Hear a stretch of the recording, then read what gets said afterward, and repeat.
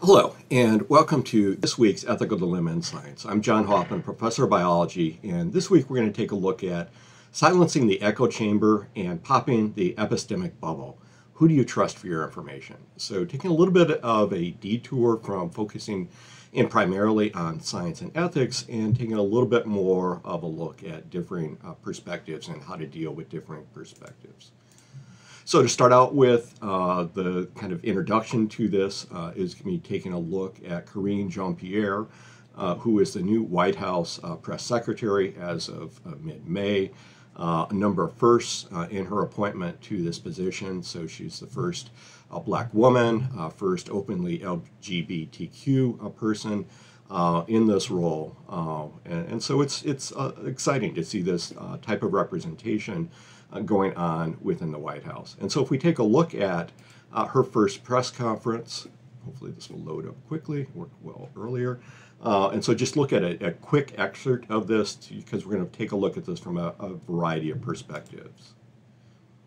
Uh, Karine, congratulations. Thanks. Nice to see you. Thank you. Uh, the president's Twitter account posted the other day, you want to bring down inflation, and let's make sure the wealthiest corporations pay their fair share. How does raising taxes on corporations reduce inflation? Um, so, are you talking about a specific tweet? He tweeted, you want to bring down inflation, let's make sure the wealthiest corporations pay their fair share. Look, you know, we have talked about, um, we have talked about this this past year, uh, about uh, making sure that the wealthiest among us are paying their fair share.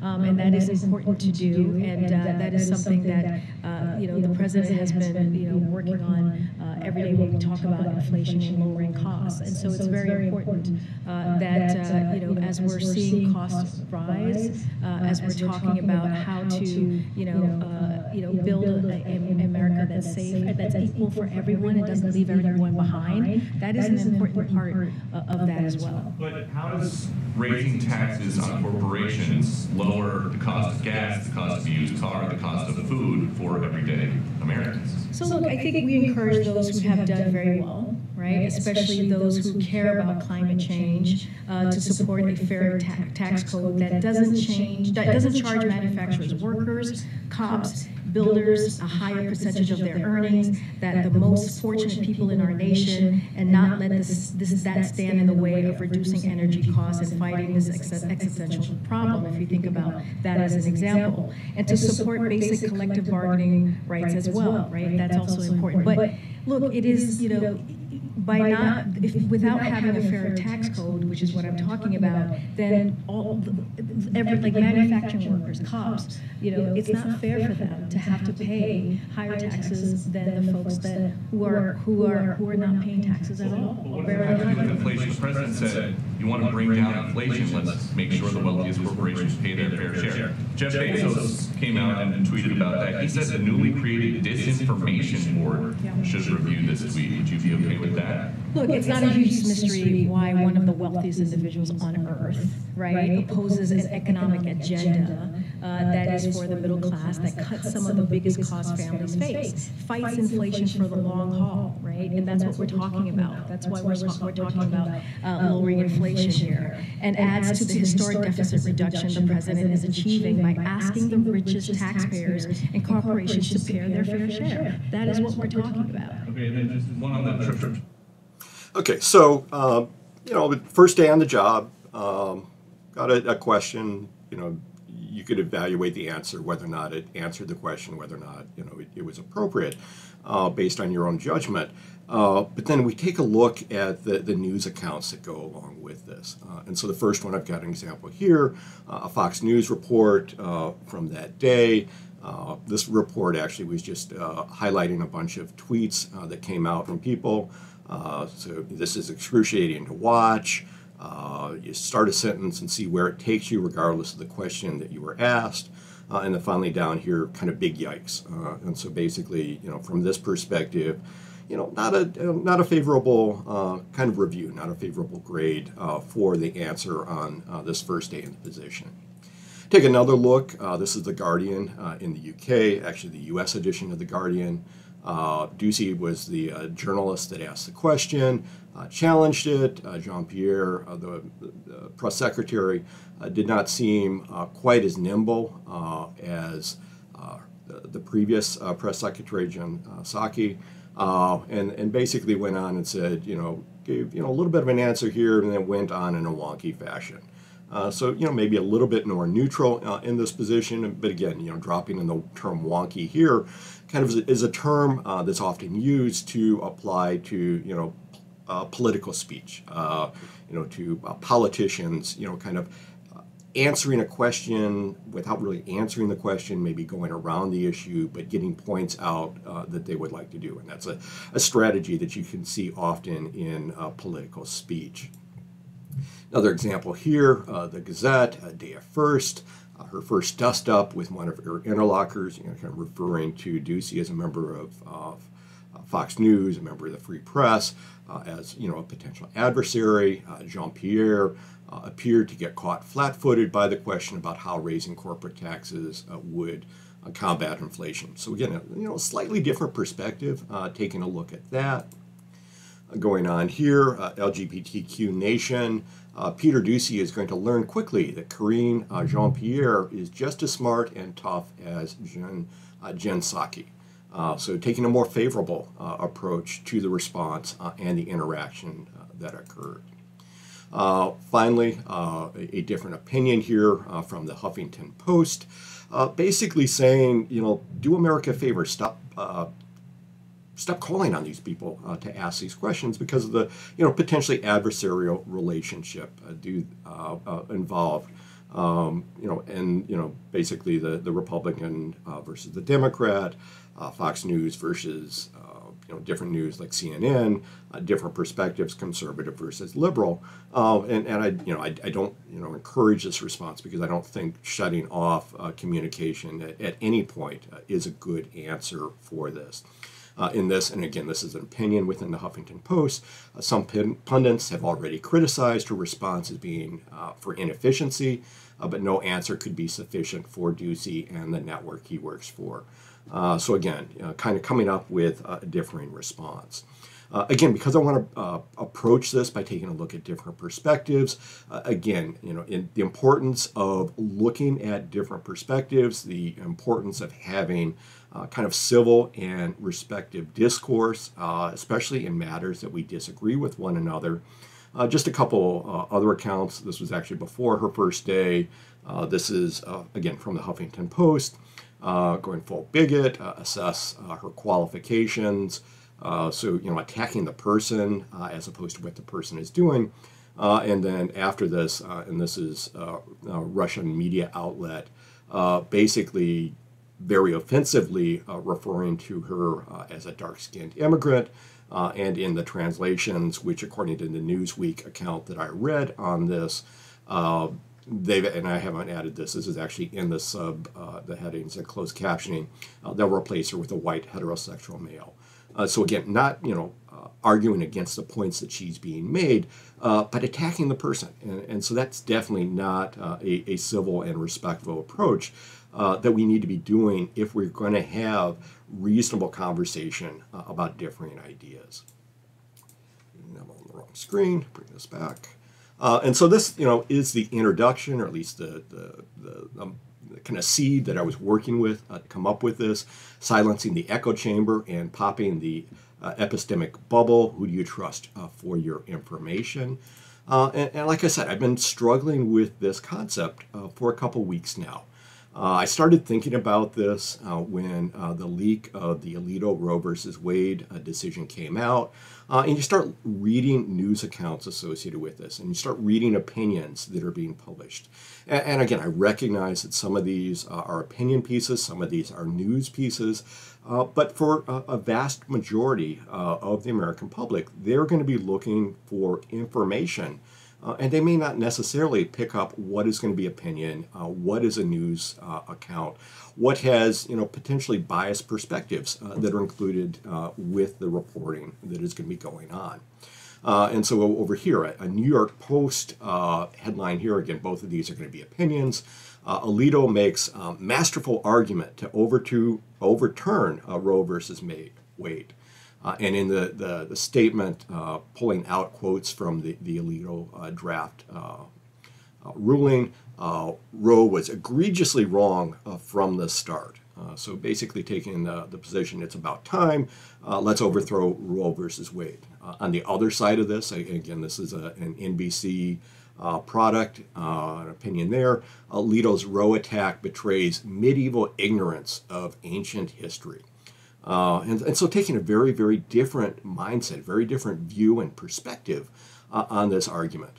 Uh, and we can see, you know, potentially why, you know, the public's polarized uh, because there are very, very strong opinions on either side. And depending upon where they're getting their information, they may be uh, getting their views amplified uh, or challenged in some way.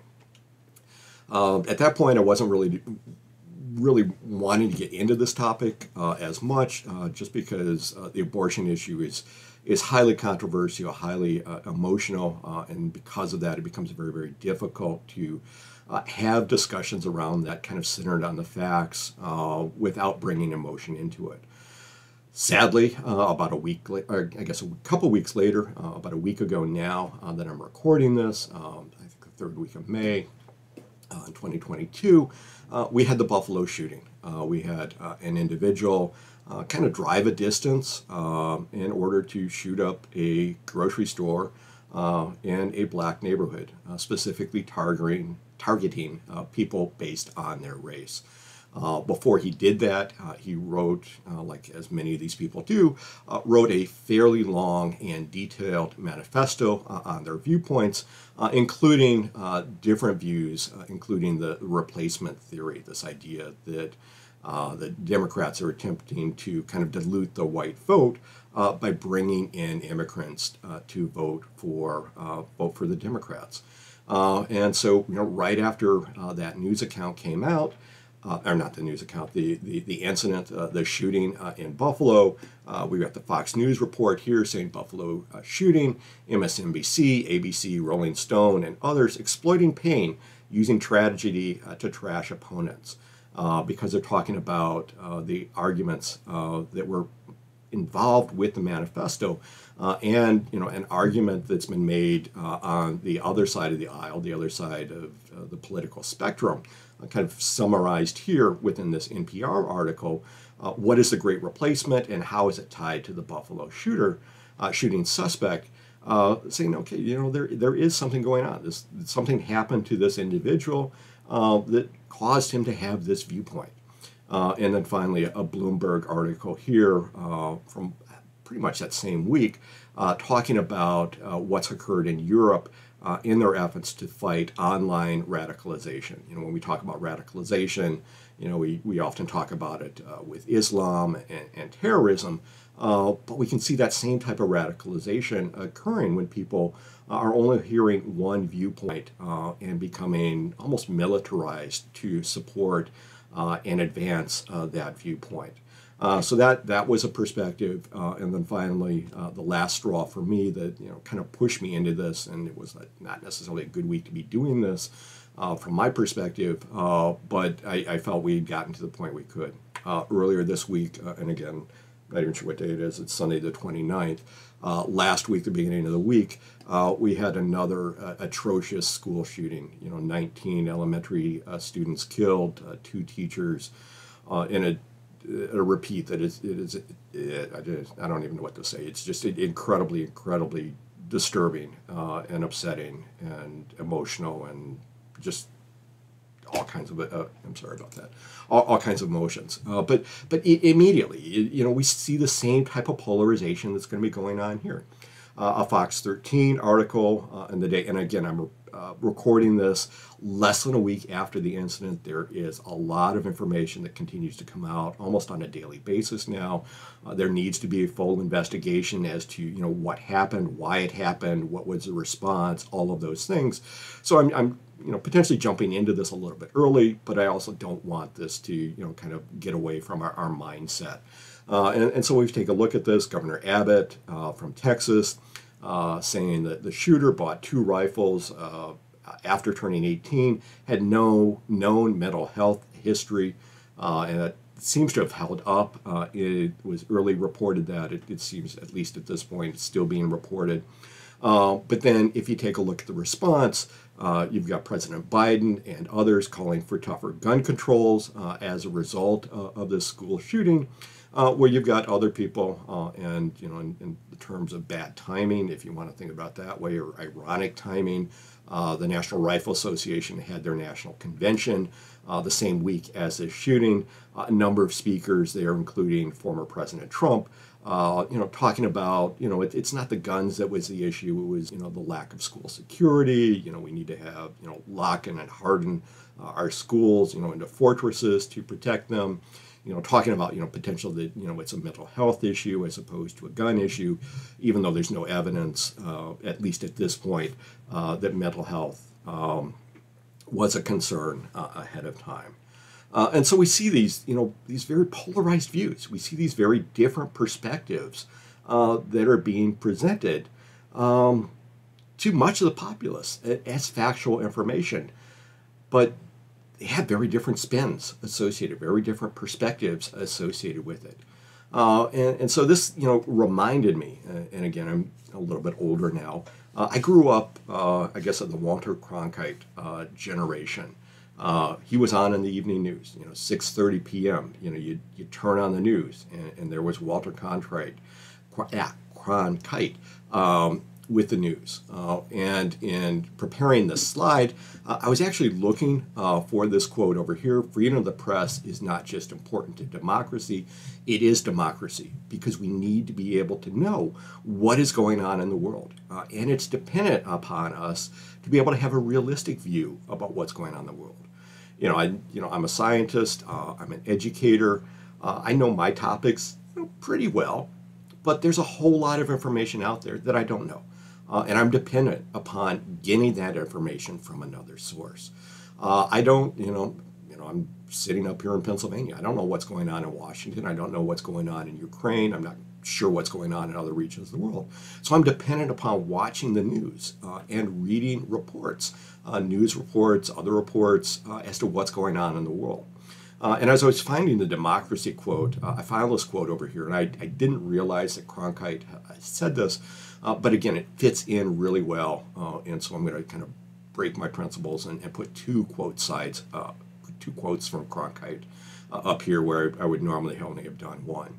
Uh, the ethic of the journalist, uh, and I would say the professional journalist as well as the citizen journalist, the, the commentators, everybody that's involved with this, uh, the ethic of the journalist is to recognize one's prejudices, biases, and avoid getting them into print.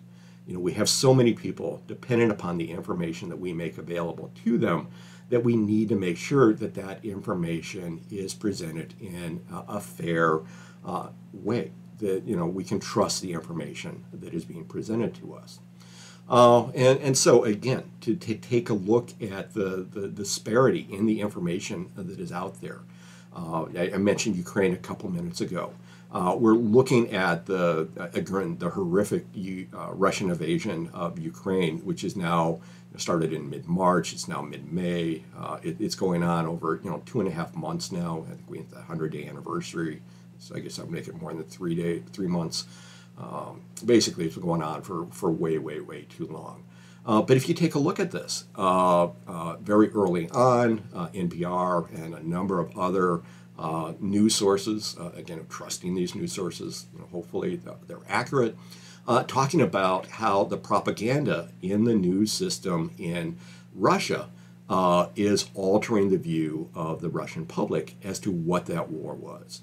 Uh, it started out with uh, a liberation of um, Russian speaking people uh, in Ukraine, liberating the country uh, from Nazis, uh, and uh, looking at this as, as a huge success. The New York Times a few weeks ago had a more detailed account on that. Uh, and again, I, I, blew this up a little bit because I wanted to uh, make reference to it uh, to the Western audiences, to us uh, that are viewing it from the outside. Uh, the invasion, Russian invasion, uh, has been seen as a, a, series of blunders.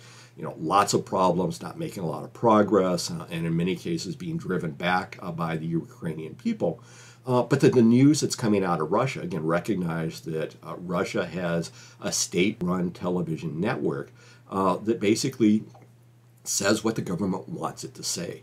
Uh, and to the point where a critical reporting of the war has been criminalized. Uh, people can be arrested and put in jail uh, for speaking against Putin and for speaking against uh, the war uh, in Ukraine and what's going on within Ukraine. Uh, and so that's that's that's incredibly troubling, especially to us uh, within the United States, with our free press around the world, where we see the importance of the, the free flow of information, the accurate information getting out to our citizens. But then again, we, we take a look at this and we see, you know, the censorship that's occurring in Russia by only having one point of view. Uh, but then you look at how many of us uh, get our information. We get our information from social media. Uh, I use a couple of news aggregator sites, uh, and I've actually looked into it. Uh, some of these news aggregator sites use the same basic type of algorithms uh, to go through and see what it is you like and give you more information like that. Uh, so a couple articles, uh, research articles. Um, this is a, a, reference to an article uh, in Science, Science Daily. Uh, and, and so there was a research study saying that basically computer algorithms really change our view uh, of the world.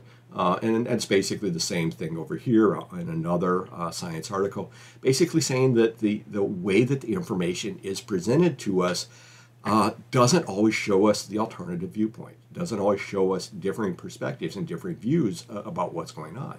So that oftentimes, whether or not we're on social media or some of these news aggregator sites, they're going to be giving you information and news accounts that are more like the articles that you've read in the past. Uh, and so the computer program works intentionally to say, okay, if you like this perspective before, here's more articles with that perspective. Uh, and so what ends up with is that it's almost almost like a, a self-censorship type mechanism occurring when we're using these algorithms if we're not intentionally going out and looking for a, a variety of information. Uh, and that gives rise finally to you know what are the epistemic bubbles and the echo chambers that we talked about. Basically, within an epistemic bubble, uh, we're taking a look at an individual being within a community or within a situation where their opposing viewpoints, important relevant viewpoints, have been excluded by omission. Uh, so you have an individual over here uh, that is living in a protected environment, protected from kind of outside views uh, and outside influences. Uh, and so, a good example of this, uh, and this again, a, a, news report from earlier this week. Uh, in Virginia, uh, we've got um, Virginia lawmakers uh, trying to restrict the ability of the uh, book distributor Barnes and Noble bookstore from selling 2021's most banned book uh, basically saying, you know, you know, we're going to ban the book from the schools, we're going to try to ban the book from the libraries, uh, but now we're, we're, we're going to try to prevent people from being able to purchase it and, and read it. If you get into the legislation, it's basically uh, uh saying that they can't sell it to minors, uh, that they would have to have parental approval uh, for them to be able to do it.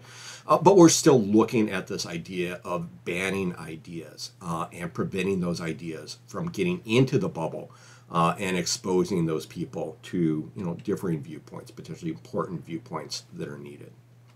The alternative of the epistemic uh, bubble you know, is an echo chamber. Uh, and so within the echo chamber, same basic idea. We've got an individual sitting here, kind of exposed to you know whatever viewpoint uh, is favorable within that community or within that group. Uh, but then it is actively attempting to discredit uh, those views that are contrary to their viewpoint, uh, and there's those views that are potentially going to challenge that viewpoint.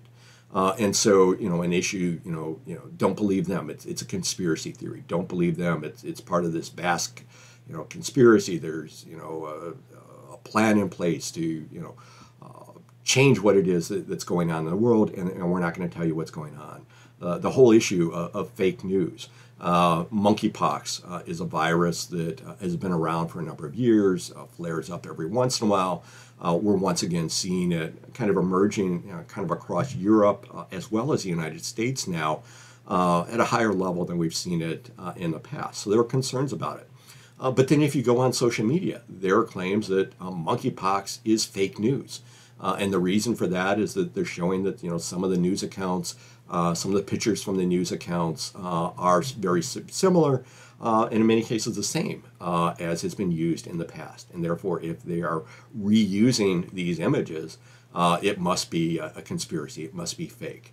the you know the fact checkers, and this is a, a Reuters fact checker article kind of associated with it, says yeah, it is the same article. You know, newspapers, journalists, citizen journalists. Uh, I'm not sure what I am. I, am a biology professor doing some of these things. You know, I, I, look for images that I have available or images that I can find. Uh, there are libraries of, of, images that are available to news agencies. Uh, so they're not going to go out and get a new image every time a new news account occurs. Uh, so they're going to use stock images um, hopefully you know recognize it as a stock image uh, and not purport it to be you know kind of live. So you know you often see you know battle scenes uh, but they're battle scenes taken from another area uh, while they're talking about you know the war in Ukraine.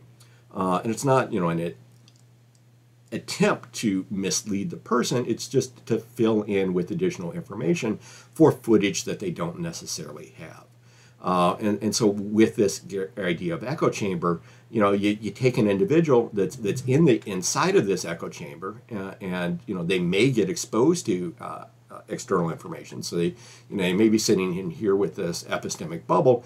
Um, you know, uh, they're in there. The information has been omitted, so they don't have access to it. Here, you know, the information may get in, but they're not even going to consider it. They're not going to consider the source uh, because it's already been a, um, it's already been discredited you know, don't believe them. They're going to come out and they're going to lie to you. Uh, I don't know what they're going to say, but as soon as they speak, they're going to be lying to you. So don't trust a word that they say. Uh, and we've seen that uh, over the last uh, probably five or six years, uh, especially. Uh, but this concept of fake news, you know, don't trust anything they say because they're going to say things about me that, um, you know, aren't good, that you know are, aren't true. You shouldn't believe them just solely because they're talking against me. Uh, and you know, so we have this situation then that how do we trust the information uh, that we have? Uh, and you know, I don't do this a lot, uh, but I encourage you to read this article. It's uh, from a um, uh, kind of a psychology and a marketing perspective, but escape the echo chamber. Uh, it's a relatively short read. It's an essay. Uh, I think it's a psychologist that wrote it, uh, but it's a really, really good article from my perspective in taking a look at, you know, how do we interpret perspectives and how do we, you know, kind of analyze if we are getting good information. Uh, and that gives rise to my ethical dilemma in science for this week, a little bit more on the ethics and, and differing perspectives, a little bit less on the science. But this idea that the First Amendment protects the freedom of the press. Uh, but what does that mean now in this internet age of social media and citizen journalists? What makes someone a reliable source of information that you can trust? If you find information on the web, is it reliable or is it just you know the, the equivalent of the Buffalo shooter writing a manifesto? Uh, and they you know they have issues, and, we shouldn't be trusting that information. Uh, how do you ensure that you're able to consider robust and accurate information? You know, you know, it's great if people agree with you, but if you're wrong, it might be good to have an alternative viewpoint. How do we know what's right and what's wrong if we don't consider the information fully? Uh, and then finally, you know, potentially a little bit controversial in this, are there times or portions in an individual's life when it's appropriate uh, to remain within an echo chamber or an epistemic bubble? You know, we can't, you know, tilt at all the windmills that, that we see appearing uh, before us. Uh, but are there certain things that we just accept? You know, you know, maybe I don't have the best information from that, but I feel comfortable with it. Uh, but are there times that you know we definitely need to be challenging those things that we're going to be thinking about? A few articles, including the escape from the uh, echo chamber. I'll put this in the links uh, in the um, the description uh, down below. So uh, thank you. Again, gone off in a slightly different direction, went a little bit longer uh, than I planned on this. I, I, intended for this to be relatively short, uh, but the more that I got into it, the more kind of emotional and the more kind of important I felt uh, that this was going to be. So hopefully uh, you enjoyed it. Uh, we'll have another one next week. I'm working on one right now that I, I bumped back to next week get back to a little bit of the science and the, the ethics associated with it. So, thank you. Have a great week and hopefully uh, come back for another ethical dilemma in science soon.